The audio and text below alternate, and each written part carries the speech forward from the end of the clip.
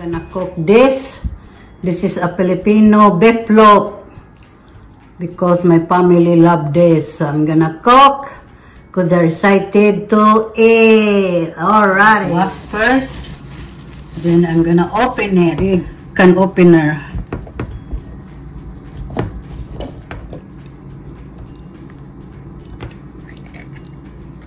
Hmm, open. Now I'm gonna open the other side. Then upside down.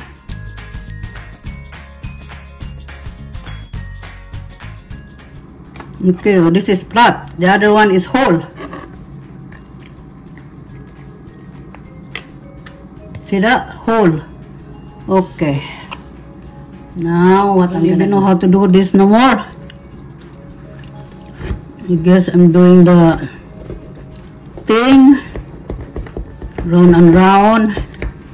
I hope it's not ruining the shape in here. Alright. We'll see.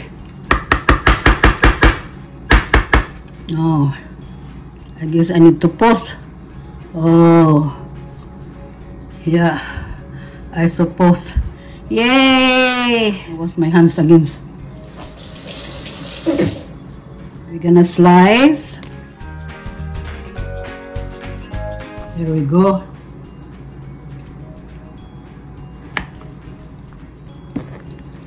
Ah, it's alright. One, two, three, four, five, six, seven. Okay.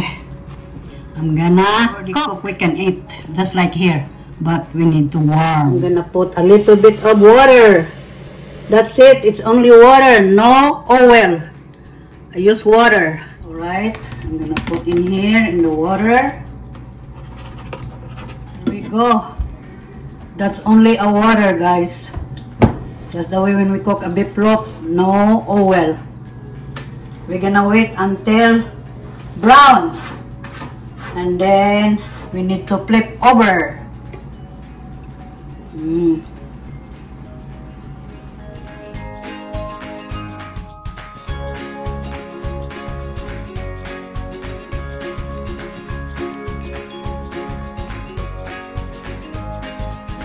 This is supposed to be a breakfast, but they cannot wait.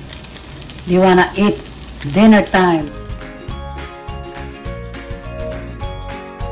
Okay, I'm gonna check it's already brown so that we can flip over. Let me see. Yes. Time to flip over.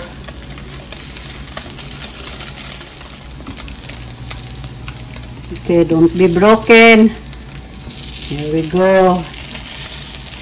Now until they are brown and that's it. See, no oil. So brown. Alright, I'm gonna check if they're already brown. Yes. They're all brown. It's moving. No need of paper towel. So you can slide in here. Yay! Voila! See that? Yes, a big flock from the Philippines. This is yummy, guys. Now my two kids, uh, two, two girls, gonna be eat tonight. I put some vegetable in there so that they can eat the vegetable. The broccoli. It's balanced. Meat and vegetable. There we go. Broccoli with beef flow from the Philippines. Ready for dinner.